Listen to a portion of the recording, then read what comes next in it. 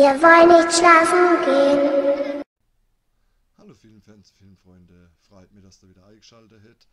Wieder aus dem Titel entnehmen kennt ich mal wieder Mystery-Paket Zeit. Mein guter Freund Martin, a.k.a. Dinge 1978, hat mir mal wieder äh, Paket zukommen gelassen. An der Stelle viele liebe Grüße Martin und vielen, vielen Dank. Da hat er übrigens heute Geburtstag. An der Stelle auch nochmal viele Grüße und alles, alles Gute von mir. Und das wollte ich mit euch gemeinsam mal angucken. Das Paket steht schon hinter mir, ich habe es auch schon aufgeschnitten, noch nicht reingeguckt. Ich lange jetzt einfach mal rein, hol dann mal der erste Film raus und dann gucken wir. Und zwar hätten wir hier als erstes der Woman der Film habe ich schon ein paar Mal im Laden in der Hand gehabt. Habe auch schon einiges von euch gehört, was ihr zu dem Film gesagt habt. Da geht die Meinung auch ziemlich weit auseinander. Die eine sagt, der Film wäre gut, die andere sagt, wäre beschissen. Bild mir da gerne meine eigene Meinung, gucke auf jeden Fall mal rein. Schon mal danke hierfür. Wichtig ist ja immer hier, ankert. Dann hätten wir hier als nächstes der, ähm, der Cliffhanger mit dem Stallone. Heute spiegelt es ein bisschen. Cliffhanger mit dem Stallone. Ja, den Film habe ich schon auf DVD, ist jetzt ein Upgrade quasi, machen wir so rüber, Update quasi auf Blu-ray. Viele sagen ja, das wäre der beste Stallone-Film oder einer von der besten. Mir gefällt der auch gut. Es gibt andere Filme, wo mir vom Stallone besser gefallen, aber er gehört auf jeden Fall für mich auch zu der besseren, sagen wir mal. Dann hätten wir hier als nächstes äh, Charlie's Farm. Den Film habe ich leider schon auf Blu-ray sogar. Ja, oh, was soll ich zum Film sagen? Ich finde ihn nicht schlecht. Gehe ja die Meinung auseinander, die andere sagen voll, geht holt jetzt. Man merkt, ich mache es heute zum ersten Mal vor dem Computer mit der Webcam, bin ja nicht so ganz sicher, wo ich was da hinschieben muss, aber das kommt. Auf jeden Fall, wo ich stehen geblieben bin, was ich zum Film sagen, ich finde jetzt nicht schlecht, viele sagen, ah, gut oder schlecht. Einfach selber Meinung bilden. Ich finde nicht das Slasher-Film für zwischendurch. Dann hätten wir hier Hell or High Water, den Film habe ich auch schon, absolut genial, richtig schönes Buddy-Movie, Road-Movie, Filmle, wer den noch nicht kennt, von mir auf jeden Fall äh, klar eine Empfehlung, kann man sich auf jeden Fall gut angucken. Alter, ich heb die Filmkamera wenigstens so fett, weiß ich links, rechts, oben, unten, naja, so probieren wir es mal so. Dann hätten wir hier als nächstes der Upgrade, den habe ich schon auf DVD, jetzt habe ich ihn auf Blu-ray, im wahrsten Sinne des Wortes ist das ein Upgrade. Der Film äh, ist richtig gut, war sehr positiv überrascht. Das war auch so ein Film, wo ich auf Empfehlungen von euch gehört habe und gedacht habe, ja komm, nimm schon halt einfach einmal mit. Und bin nicht enttäuscht worden, wollte eh nämlich mal auf Blu-ray upgraden. Somit hat sich das jetzt auch erledigt. So, weiter geht's. Dann hätte man hier auf Blu-ray der Shin Godzilla. Hat er da anscheinend doch nicht so gut gefallen. äh, also ich finde den gut bin ja auch gerade dabei, die äh, Godzilla-Filme zu sammeln. Den habe ich jetzt auf DVD schon quasi ja Upgrade. So. Dann hätten wir hier, was ist das? Forbidden Kingdom mit dem Jackie Chan und dem Jet Li. Auch richtig gutes Film, hat mir auch sehr, sehr gut gefallen, muss ich sagen. Gut, der Eutypi, wo da mitspielt, sieht man den jetzt gerade hinten drauf. Ja, du ganz, ganz klein, aber ihr wisst ja, wen ich meine, um den, wo es ja eigentlich geht. Der nervt ein bisschen, weil der geht mir schon ein bisschen auf den Sack, aber ja, Film ist auf jeden Fall gut, kann man sich gut angucken. Dann hätten wir hier in der Platinum Cult Edition, oh, der Blood Fight hier auf äh, Blu-ray. Ja ein Upgrade, weil den habe ich ja die ganze Zeit nur auf äh, DVD gehabt. Film finde ich gut. Richtig gut sogar. Und man kennt ja Bole Young eigentlich immer nur, oder Bole Young, oder wie manche Leute sagen, ich sage Bole Young, fertig aus Armen kenne den ja auch bloß ähm, als böse Gegenspieler von Van Damme Bloodsport, aber ich finde, das ist jetzt einer von den Filmen, wo Emil die Hauptrolle hat, da ein gutes Spiel, das man auf jeden Fall gut angucken kann. Dann hätten wir hier als erstes, ah, sorry, Mikrofon. Dann hätten wir hier als nächstes der Blood Rain. Ist hier, hier jetzt die Uncut-Fassung, ist jetzt auch nochmal rausgekommen, rausgekommen auf äh, Blu-ray. Den habe ich leider auch schon. Aber da finde ich mit Sicherheit auch jemand, wo da Freude machen kann. Mir hat er gut gefallen. Viele schimpfen ja immer wegen Uwe Bollensaar, der bringt nur Dreck auf die Leinwand, aber das finde ich jetzt persönlich nicht.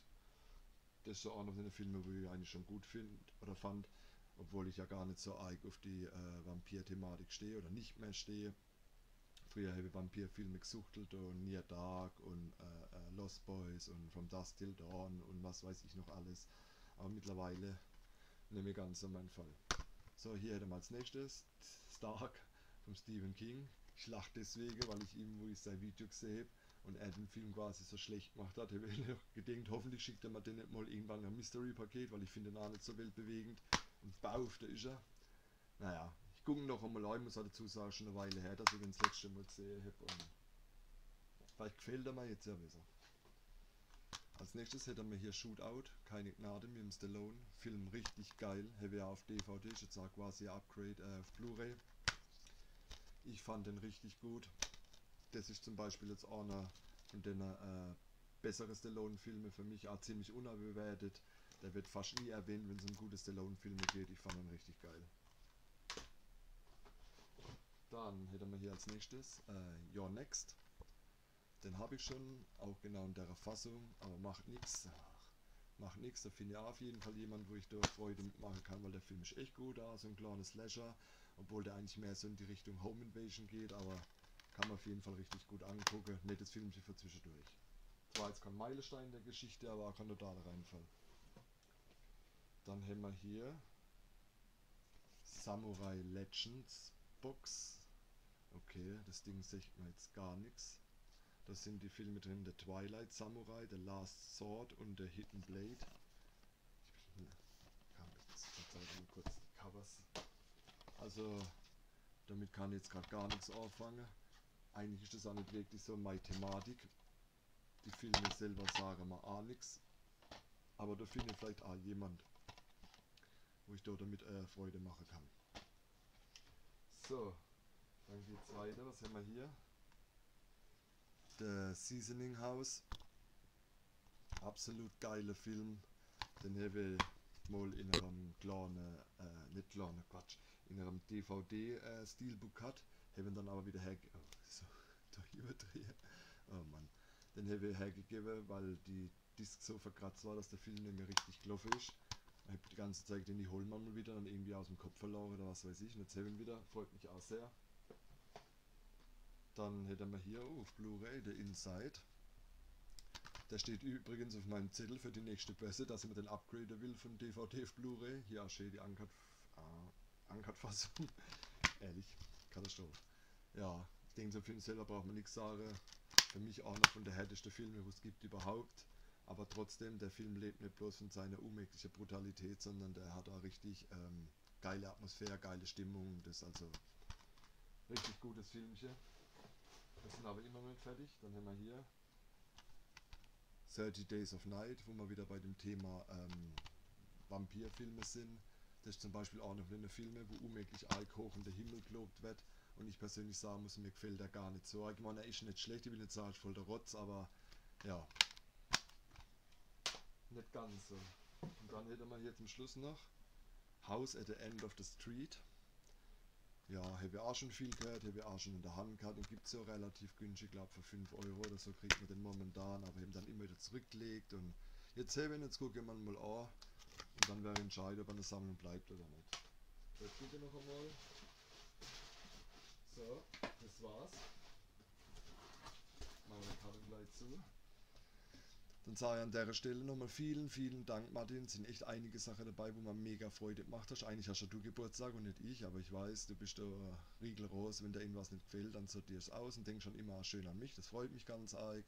Euch andere sage ich vielen Dank fürs Zuschauen. Ich hoffe, euch hat es mit der neuen Perspektive so ein bisschen gefallen. Ich weiß, es ist noch ein bisschen Übung äh, gefragt, weil wo hebst du Film noch, wann guckst du über eine Kamera, dass man mein, der guckt am Ohren, guckt nicht neben aus. Schon jetzt alles ein bisschen Neuland, aber ich denke, so vom Ton und der Qualität ist, wäre die Videos jetzt dann besser und ja, nicht so viel Schwafle. Dann sage ich euch mal Danke fürs Zuschauen. Kommentare gerne wieder unten äh, in die. Einen Kommentar könnt ihr mal gerne unten reinschreiben. Also jetzt, jetzt geht es gerade total durch die Hitze, brennt man schon der Schädel und es fängt das Gehirn an zu schmelzen. Nochmal, dann sage ich euch Danke fürs Zuschauen und sehen wir uns bei einem meiner nächsten Videos. Euer Stone Cold. And that's the bottom line, because Stone Cold said so.